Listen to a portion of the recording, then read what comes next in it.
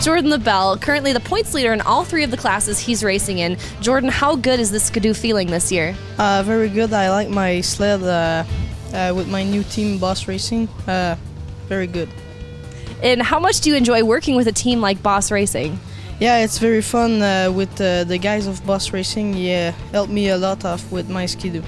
Safe to say Jordan Lebel and the Boss Racing team has been freaky fast this year.